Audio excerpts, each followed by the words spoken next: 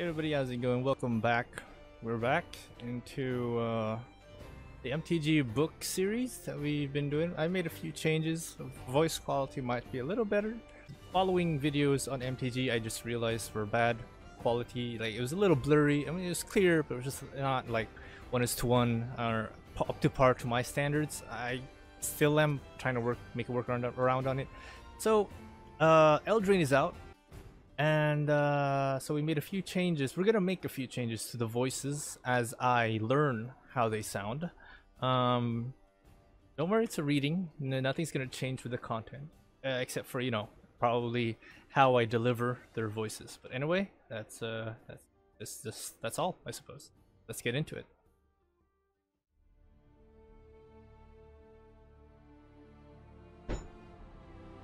All right, here we go. Chapter 11.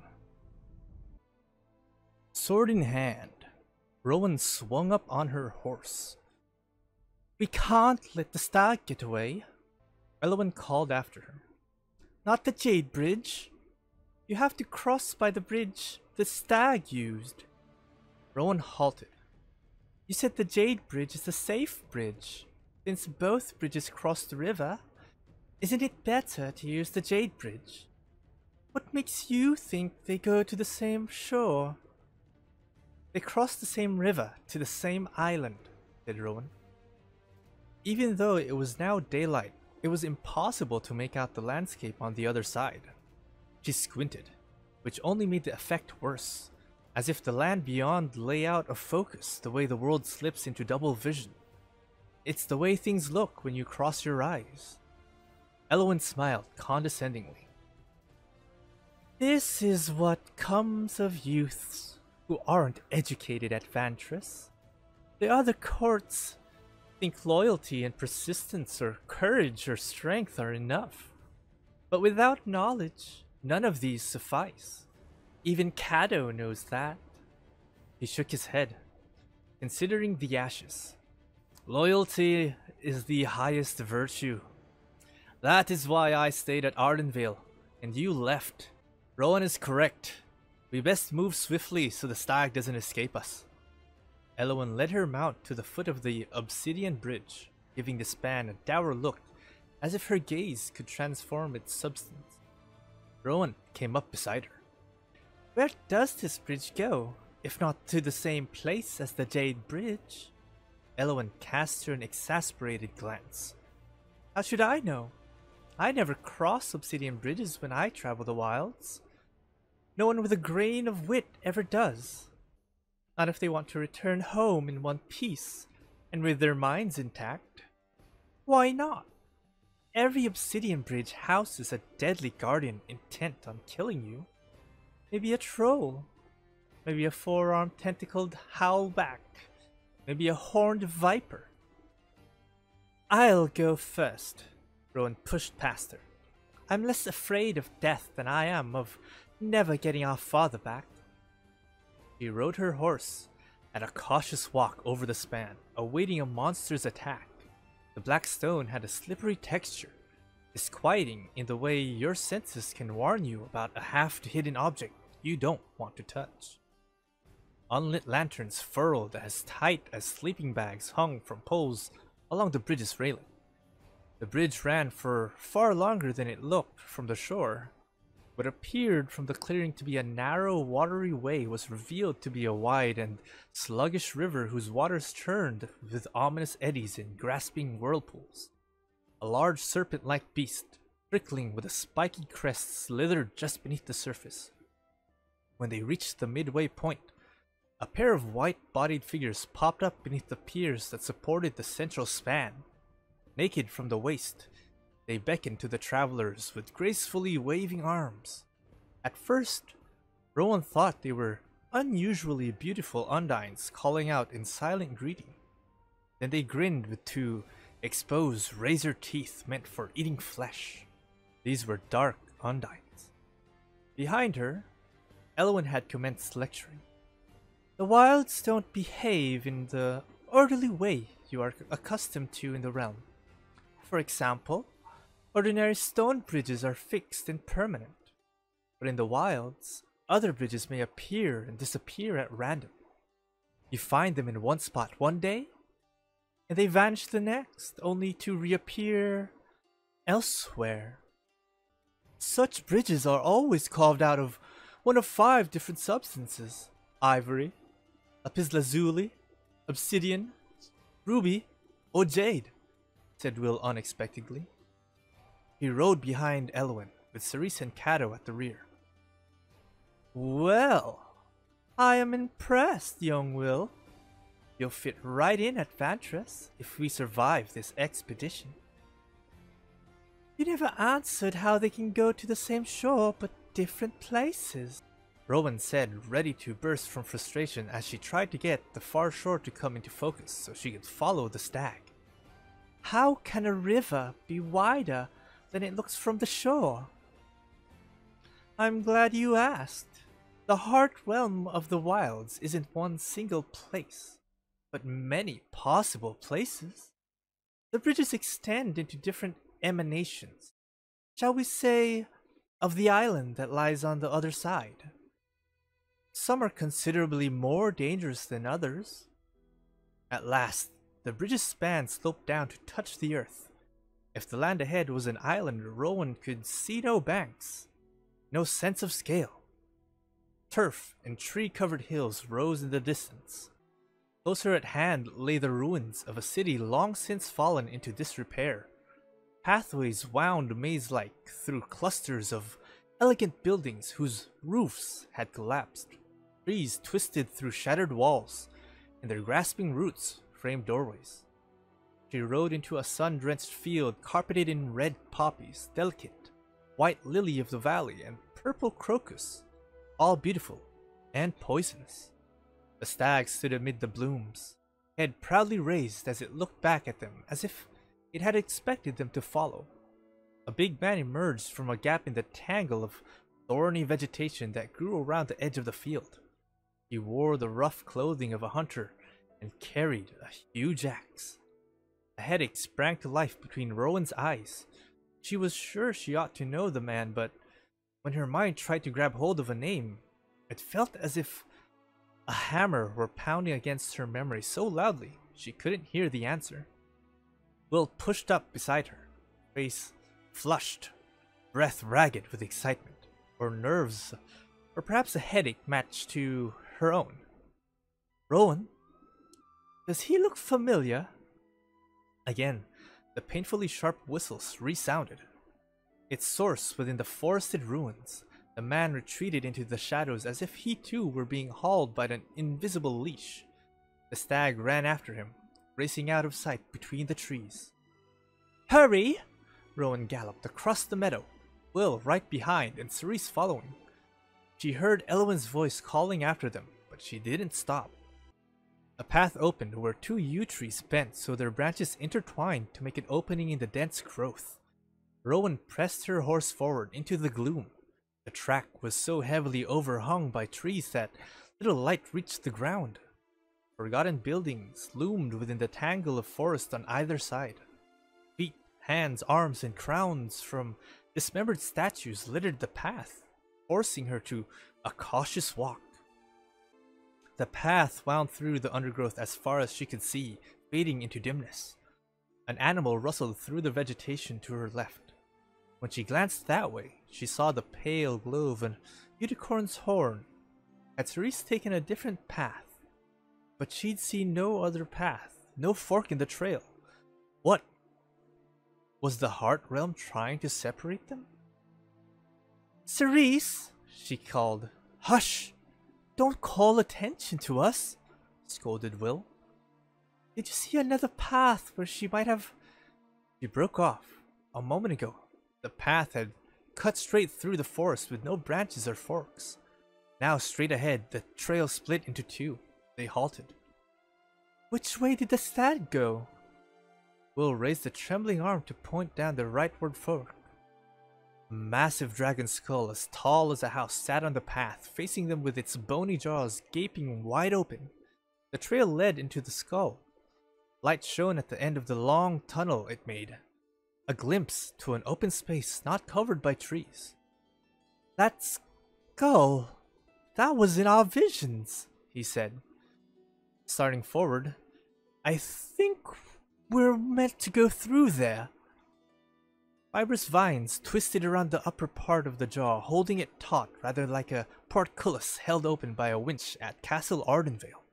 Rowan couldn't help but wonder what would happen if the vine snapped just as they rode underneath the dragon's teeth. But she wasn't about to say so aloud, not even to Will. She didn't want him to think she was afraid, even though she was terrified. Elwyn might lecture on and on about the glorious mysteries of the wilds, but Rowan just wanted to find the stag find their father, and get out before they got horribly killed like Titus. She shouldn't have raced ahead onto the Jade Bridge. She should have stayed loyally back with her friend, shoulder to shoulder. But the Lich Knight's ghastly stench and chilling magic had terrified her into letting Titus take rear guard alone. Will reached the dragon's maw. He looked back at her with head tilted to one side questioningly. Rowan? Furious with herself, she urged her mount forward. The mare's ears flicked back and forth at the sight of the huge skull, but she moved forward obedient to her rider's command. Inside the skull, the air had a peculiar sweet smell. Its curved interior gleamed softly. Sparks floated high up in its cranium like a dance of fireflies. It was oddly peaceful. Will whispered, Do you hear voices ahead? The back of the skull opened onto a stone paved plaza choked with flowering shrubs and tall grass. The headless body of the dragon was curled into an oval.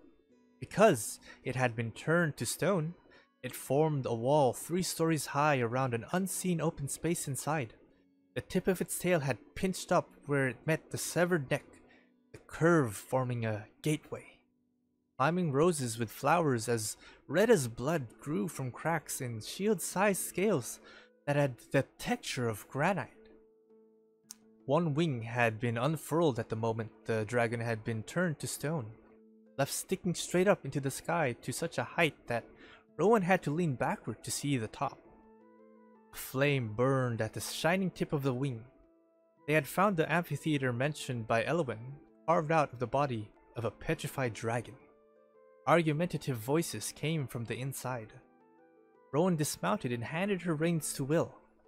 As he led the horses behind a concealing height of brush, she padded over to the wall. Her gloves and armor protected her from the thorns, and the cracks between the petrified scales of the dragon made it easy for her to climb to the top. Inside the central area was filled with tiers of stone seats, built in an oval. A crested eagle perched on the far wall, overlooking a meeting taking place below. A crude campfire burned on the central oval. Eight elves sat on broken stones around the fire, arguing. The only elves Rowan had ever seen were Queen Ayara and some of the courtiers of Locthwain, with their elegant attire and sophisticated haughtiness. The elves of the wild had little in common with their kinfolk who had stayed in the realm. They wore crowns of flowers and leaves in their hair, clothing woven of flax and thistle, and they bore keen, quick expressions. But the most shocking sight at the meeting was Queen Ayara standing to one side like a humble onlooker. She wore black riding clothes instead of her usual sweeping black gown, with golden brooches in the shape of goblets pinned to the lapels of her jacket. Her hair was braided into a tight crown, leaving her face unveiled she didn't look old. Elves never did. But there was an indefinable air of great age and ancient exasperation as she glared, hands on hips, at the young elf who was speaking to the council. The time to attack is now, while the realm is weakened, while they squabble in disorder and disagreement, said this individual, a gloriously handsome young person. He held a beautifully carved bow in his brown hands. We can start tonight. For generations, we've been confined within the wilds. What's to stop us from riding through the realm this midwinter? To hunt where we choose, as we used to. To take our pick of prey, as we ought to be able to do. You young fool, snapped Ayara. What do you think we'll accomplish? Except to terrorize the inhabitants of the realm. They terrorize us with their quests and their rules. You have become complacent. a collaborator. A swirl of dust spun a whirlwind of magic around the council, forming a tall column in a funnel of air meant to sweep Locthwain's queen off her feet. Ayara brushed it aside with a casual flick of a hand as she continued speaking. You parrot the words of an individual who has been traveling through the wild since autumn, goading you to attack. According to the report sent to me by my envoy, this person is a stranger to us. Why do you trust him, Illidan? Because he is correct. He raised his bow toward the sky. The hunt rides tonight, and this year we ride where we wish. Another elf spoke, although she looked no older than Illidan. There was something about her voice that held a time-worn weight of caution. Ayara is correct. You'd say so, Elfra, Illidan retorted. You and she are cousins. Do you not respect our ancient clans and ties of kinship? Ayara does.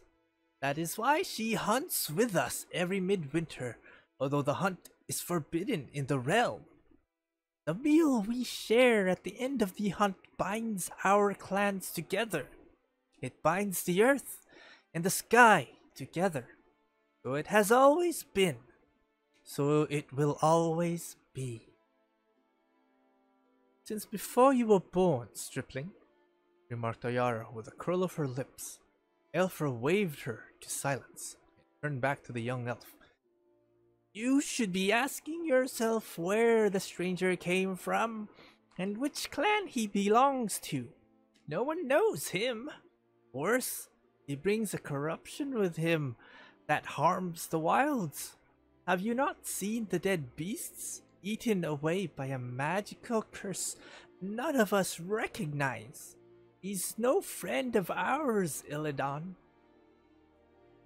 He doesn't need to be our friend. He needs only to be our ally. With the High King missing, and every court suspicious of the others, we can push back effectively at long last reclaim what has always been rightfully ours. Elfra held a spear decorated with copper and bronze leaves. She stamped its haft on the ground. Be careful of what you think you know. You're too young to recall the days when we retreated into the wilds and what happened then. Beyond that, the stranger claims to have bespelled the High King, but cannot produce him. I'm not against taking back what we've lost, but we need concentrate assurances that following a stranger's counsel would not lead us into a worse disaster. I advise rapprochement with Castle Ardenvale, said Ayara. There has never been a better time to seek to reach a more advantageous understanding with Queen Linden. If we can find Algenus Kenrith and restore him to the throne, it might allow our people to. Illidan leaped to his feet, shaking the bow at her. Appeasement! Surrender! Never! The others broke out in angry remonstrances, some crying out against any negotiations with the realm, others supporting Ayara and Elfra. A few refused to engage in the dispute as they instead sharpened their spear points for the hunt that would set off at dusk. A flurry of wings pulled Rowan's attention away from the council. The crested eagle had flown over to perch a short distance away, watching her with a disturbingly acute gaze. What if it were like that Garenbrig Knight's hawk, an animal bound to a master for whom it could spy? She edged backward and climbed down. No one in the council oval raised an alert, so maybe it had just been a curious eagle.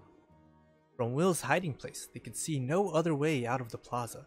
In silence, they rode back through the skull and took the fork that led left through the dense growth and empty ruins. When they had gotten far enough away, Will finally spoke in a low voice. What did you see? A council of elves. Queen Ayara was there. What? How did she get here? King Yorvo must have sent her through the portal right before us. And then he didn't mention it to us. Is that normal? I don't know. He's not obliged to tell us his other business, is he? You think Ayara... You think Queen Ayara has something to do with father's disappearance? That's what they claim at Garenbrig. She told the council she didn't. There really is a midwinter hunt every year, like cranky old villagers always claim their grandmother's grandmother talk about. Really? Yes. The elves are preparing for it right now. Apparently, Ayara secretly takes part in the hunt every year. Why would you do that? They said it is an ancient clan tradition. They eat what they kill all together. Some kind of magical ceremony to bind the earth and sky. What if all those villages are right? And there really is a sacrifice? Trust good old Will not to look shocked. He merely nodded. We go hunting and have feasts afterward too. Shed blood binds. That's what the lore mages say. That would explain why Ayara vanishes every midwinter solstice. But why does she keep it a secret? Is she ashamed of it? It sounded to me as if no one in the realm is meant to take part in the midwinter hunt. As if there is an old agreement about it. A broken contract? That makes me more suspicious of her. What if she just has been waiting for a good chance to overthrow the realm? All these years? She's been alive a really long time, Will. If not her, then who's causing all this trouble? They were talking about a stranger, Someone wandering the wilds trying to convince the elves to attack the realm, now that father is missing. Queen Ayara wants the council to open negotiations with mother, but that will never happen. The realm and the wilds will always be opposed. I I don't know. What if what if it doesn't have to be that way? Now you sound like Lormage Elwyn. But here's another strange thing. I came under surveillance by a crested eagle, like Alona's hawk. So we have to be even more cautious. And there's worse. The midwinter hunt must be gathering nearby. We've got to find the stag and get out of here before the portal closes at dusk. Shh! He warned as the path lightened ahead. They rode over a scattering of squat mushrooms and into a circular glade surrounded by a stately oak, ash, and thorn trees. A slender tower rooted in the middle of the glade had toppled sideways long ago. Marble slabs scattered the ground. Its conical roof had broken into shards that spilled right up the path's opening. A weather vane topped by a fanged cherub had been stuck upright into the earth. Sunlight glinted on the pale stone remains of the fallen tower. Grass swayed in a mellow breeze, a man lounged at his ease in a fine draped seat constructed out of pieces of marble into a mockery of a throne. He held the skull at arm's length, studying it with a rueful but good natured frown. As they reined their horses to a halt, he looked up and his eyes widened. Rowan and Will Kenrith, he said with an exaggerated aspect of surprise. How you come here? A spike of agonizing pain lanced deep behind Rowan's eyes. She pressed a hand over her face, thinking her eyes were about to bleed out. But the pain faded. When she opened her eyes, she blinked several times and stared. Beside her, Will's mouth had dropped open, as he gaped like a lackwit. Finally, he spoke. Lord Oko, he said the name hesitantly. Oko? Rowan echoed as the memory of that day flooded over her. What became of you at Beckborough? said Will. That's right. We lost track of you. Rowan rubbed her eyes as a last tremor of headache cut through her brow. Yet it wasn't really that strange she and Will had forgotten about the encounter, was it? Everything at Beckborough had happened so fast, and with such appalling repercussions. Are you questing for the High King too? Is that your companion we saw by the bridge? The hunter? So many questions. and I have so many answers. Whose skull is that? Rowan stared at the gaping eye holes with a miasma of dread gnawing at her heart. A question I have been asking myself all morning as I contemplate the meaning of death and the vagaries of life. Who are we, really, in our hearts? What does it mean that this lost soul met their end in a beautiful glade amid sweet smelling flowers and beneath the all embracing sky? Do such fates not make you wonder about why the worlds are the way they are?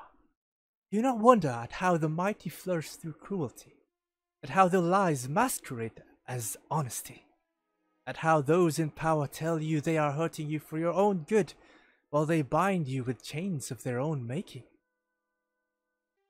That's why we strive to be virtuous, said Rowan stoutly. He sat up taut and eager. Yet what if the virtue is not enough? What if virtue is a lie? Virtue can't be a lie. Who tells you it cannot be a lie? The very ones who trust you into a cage and torture you. People do not like to have their own behavior held to account or even criticized. I know that from my own humbling experience, and I am fortunate to be alive and free at all, young Rowan. I cherish my good fortune every day as I breathe the strengthening air of freedom. It's my hope I can help others, the hapless, the ignorant, the weak, the youthful strivers like you, to embrace freedom alongside me. His words rang in her ears like the toll of every unanswered question she had ever asked. His somber gaze pierced to the deepest part of her, the one that chafed at the restrictions placed on her all the demands and refusals, the low voiced disagreements between her parents broken off whenever one of their children came into the room. Were you really tortured? she asked. Will reached out to touch her arm. Ro, you don't ask people that kind of question. Never apologize for asking honest questions. I honor those who seek answers. Oko set down the skull. Yet, I would not sully your innocent ears with the coarse and grievous tale of the early years and how I survived them. Let me say only that I was put in a cage by the very people I trusted most. All the while they persecuted and maltreated me. They claimed to do so out of love for me. They called me debased and dangerous when I would not bow to their whims and commands. Will shook his head as if to dislodge cobwebs. I'm sorry for your troubles, Lord Oko, and I don't mean to sound dismissive, but we are urgently on the track of a stag. A stag! He jumped to his feet. When did you see a stag? As the cobwebs of memory fully cleared from Rowan's mind, she flashed on that glimpse of a unicorn's horn seen through the trees, but she, Will, and Oko were the only people in sight in the glade. Where are the others? she said to Will. She turned to look back the way they'd come. They were supposed to be right behind us. That was the only trail I saw. Rowan's mouth went dry. After Titus's death, she ought never to have taken anything in the wilds for granted, yet now she and Will had carelessly lost the others. Have you seen our companions? he asked Oko. The wilds hold tight to its secrets, does it not? Why would you suppose I had seen your companions, or a stag, when I have been sitting here, enjoying the sun? Relaxing, Oko strolled over toward them. Somehow he had in each hand an apple, which he fed to the grateful horses as he smiled, first at Will, and then at Rowan, with a look of bright inquisitiveness. When we met at Beckborough, I thought you two not yet old enough to partake of a quest into the wilds. We turned eighteen on Wintertide's Eve, said Rowan. Ah, time does fly, does it not? Tell me of your journey. How did you get here so quickly? I'm given to understand it can take knights years to find this place, if they ever find it at all. Rowan was startled at how much she wanted to impress him with their deeds and valor. We first rode to Vantress to speak to the mirror. The mirror, he exclaimed, clapping his hands together, clasping them at his chest, as if delighted by her cleverness. Yes, Indralon has been refusing to speak to the knights and questing folk, but Will and I were admitted into the watery pit. Of course, two fine young people like you were given that honor. Then what happened? The vision we saw sent us to Garenbrig. What vision was that? Oko asked. Can you describe it? We saw... Will kicked Rowan's ankle and lowered his brows in warning. Haven't seen a stag or our companions? Because if you haven't, then we need to keep searching. Don't we, Rowan? Oko's gaze flashed to Will. A flicker of anger in the narrowing of his eyes. Rowan put an uneasy hand on her sword's hilt at the burst of unspoken hostility. But the darkness in Oko's eyes faded abruptly when he looked past him toward the clearing's edge. A silky smile pulled at his lips. Ah, here arrives a loyal companion, he murmured, with a lift of his eyebrows. Rowan turned to see Cato and Elowen entering the glade by a path she was certain hadn't been there when she and Will arrived. She was so glad to see them, and obviously they were relieved to find the twins as well. We feared we lost you, said Cato as they hastened over. Where is Cerise? We thought she was with you, said Will, in alarm, casting his gaze around the glade as if somehow he could spot the missing Cerise. How could he have left her behind? I told you children not to ride off in a rush, said Elowen. These ruins are a maze of shifting paths. We'd better leave here at once and search. The lore mage broke off when she realized her horse was not moving as Oko fed it a tempting apple. He then offered a dead rat to Hale, who delicately snapped up the rodent. What a magnificent creature you are, Oko said, scratching the griffin at the top of its beak as it purred. In Ardenvale, no one approached the griffin without asking its knight's permission. Cato stared at him from the saddle, too astounded by the impertinence to protest. Elowen felt no such impediment. Who are you? This is Oko of Locthwain, said Rowan, embarrassed by the lore mage's rudeness. Cato cast a look around the glade as if he expected an ambush. What is a denizen of Locthwain doing in the heart realm of the wilds? Have you already forgotten what I told you? Elowen said. Queen Ayara sent an envoy some time ago to negotiate with the Council of the Druids. How perspicacious of you, said Oko. Am I not correct in identifying you, friend, as the lore mage of Vantress? Why, yes. So I am a lore mage, without question the most knowledgeable scholar in the realm when it comes to the wilds. Elowen tugged at the sleeves of her blue and silver gabardine as if stricken by an unfathomable attack of self-consciousness. Cato considered the handsome elf with a cold and suspicious gaze. Have we met before? Something about you looks familiar, but I can't quite put my finger on what it might be. Oko sighed, eyes widening innocently. Have I done something to offend you in the brief period of our acquaintance that you treat me with such distrust? I carry no weapon. In all aspects of life, I endeavor to be quite the gentlest and most cooperative person, my friend. I am not your friend, said Cato. Perhaps not yet, although I hope your feelings for me may change as we get to know each other better. Perhaps we can help each other in our quests. I am waiting here for the Council of Druids to hear my plea. The Council of Druids was disbanded long ago. Elowen frowned at the sky gaze gone contemplative as she mulled over his words. It's said to meet only at times of great crisis. Oko raised both of his hands in a gesture that encompassed everything within the glade. The fallen tower, the whispering grass, the trees on all sides rustling with leaves stirred by wind. Is not the disappearance of the High King a crisis? Is the realm not struggling with disorder and disagreement? Are the courts not fighting among themselves? Might this not be the very chance the Council of the Wild seek to regain what was torn from them? By attacking when the realm is weakened. Oh ho! My ears are all a prickle. Elowen leaned forward to use her seat to loom over Oko, but even though she was on horseback and he was on foot, he in no way seemed disadvantaged.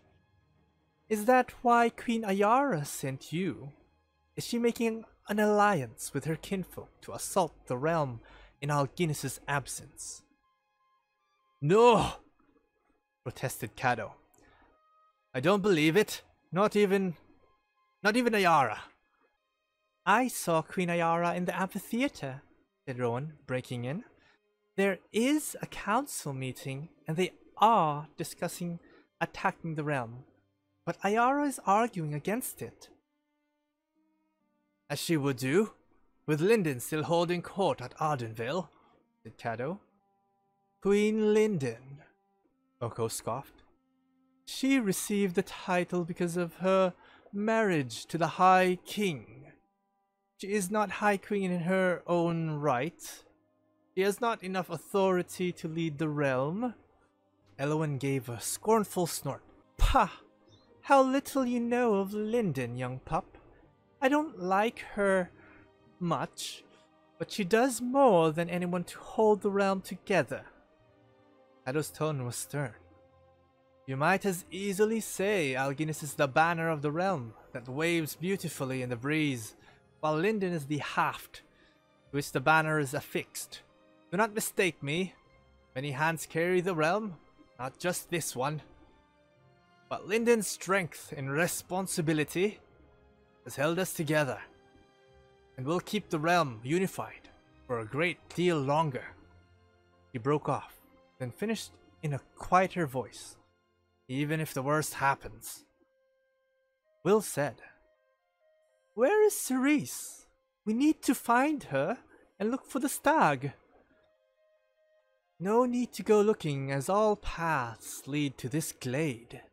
Oko gestured toward the vine-draped seat where Rowan and Will had first seen him. In the interval, it had blossomed with an astounding array of purple and white flowers. Will you join me for a small but refreshing meal while we wait? I would not be only gratified, but jubilant to be honored with your company. Elowen laughed heartily and rather caustically. You're an admirable sight. I admit, and very well spoken, with a charming manner. But even you cannot think us so ignorant as to eat a meal offered to us in the wilds.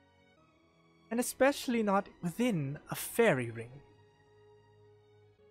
A fairy ring? he asked with gullible sweetness, tilting his head to one side. Come now, young fellow, don't think to play this game with me. I know what a fairy ring looks like, indicated the clearing. Only then did Rowan realize. The glade itself was round, with mushrooms crowded at the edge of the trees to create a white circle. A circle she and Will had crossed without noticing in their haste to seek the stag. And by the way, you're no Lord of Locthwain, Elowen added. You injure me with your doubt. His tone remained light, but he clenched his hands, shoulders gone stiff. It took me a moment to notice. Nowhere on your person do you wear the sigil of Locthwain's goblet.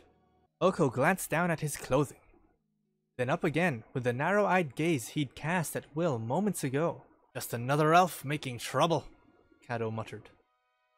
Perhaps, said Elowen. Tell me, Oko, which is your mother's clan? And to which clan was your father born? Why do you ask? He said in a too quiet voice Any elf is obliged to answer that question, or be dishonored. There's something about you that doesn't add up. I don't think you're an elf. I think you're an impostor. Maybe even a witch. A witch! Kato drew his sword. Oko reached out like a snake, striking to grasp Elowen's wrist with his left hand. I don't like people who accuse me, he said in a tone so chilling that Rowan nudged her mare forward to push between the lore mage and the elf. But it was too late. With a sparkling flare of light, both Oko and Elowen vanished. In their place appeared two crested eagles, one perched on the ground, and the other in the saddle. Elowen's horse sheed, dislodged, the eagle in the saddle squawked loudly and flapped into the air, followed by the other eagle, the two rising so quickly Rowan couldn't tell them apart. One kept flying, while the other landed at the edge of the clearing, and in a twist of light turned back into Oko. Oko whistled, the sound so harsh and loud Rowan covered her ears, and Will ducked reflexively. All three horses snorted and sidestepped to get a better line of sight on the noise. Shadow rained Hale around, the griffin spreading his wings in to make ready to attack. The vegetation behind Oko thrashed with movement. The hunter appeared out of the forest, with the stag walking to his right, and Cerise limping beside Sophos on his left. Cerise's hands were bound in front of her by a vine whose nettling sting had turned the skin raw and red at her wrists. Her face was bruised and smeared with dirt. A leaf covered her mouth like a gag. Wait! shouted Will to Kato before the griffin could leap. We can't risk Cerise. Did you see what he did to Elowen? Oko looked over the new arrivals with a sour stare, all his good humor and charming smiles flown away like a transformed lore mage. Dog, I'm disappointed in how long it took you to fetch the stag. I see you caught another morsel on the way. And a unicorn too. Murderous beasts I hear. Got our guests. They mustn't leave the fairy ring. Yes, master. A stalk sprouted from the ground, and at an astonishing speed twisted into a green halter binding the stag's head. If you'll excuse me, my friends, and I know you will, because I'm not giving you a choice. Oko bowed with a flourish as he took hold of the stag's vine-grown leash and walked into the trees. The vegetation thrashed and churned as if a hundred redcaps were beating the brush, but the rustling at the edge of the trees wasn't animals or creatures. It was a spurt of impossibly rapid growth, magical growth. Vines slithered between the trunks of trees, weaving a barrier bristling with thorns and nettles that wound up along the trunks. Come on! Rowan shouted, racing for the edge of the glade. The vines were taller than them already, writhing through the canopy, reaching ever higher. With her touch, Rowan pressed lightning into them, but green, living things do not easily burn, and her magic fizzled. Will's ice touched them with no more effect than a fall of snow on a winter forest. Hale leaped skyward with Kado, but the vines had already grown past the canopy, weaving a latticework dome over the glade. They were trapped in a cage of thorns. From the other side, Oko raised a hand with a careless wave and strode away into the ruins, leading the stag. Rowan stabbed at the vines with her sword, but their skins were too tough for a blade to cut. She took a step back as a cold foreboding tightened its bony fingers around her courage and squeezed it dry. Will had gone white as snow, all heat drained from his face as the truth set in. He must have done to father and Beckborough what he just did to Elowen, Will said hoarsely, meeting Rowan's gaze with shared understanding. The stag is father! She sank to her knees in the grass and pressed her hands against her head, rocking back and forth. Her head thudded so hard in her chest, she thought she might die rather than endure it a moment longer. But she did endure. She kept breathing, the sun began to sink toward the tops of the trees as shadows grew long over the clearing. He's taking the stag to the midwinter hunt. That's how he means to start a war between the realm and the wilds.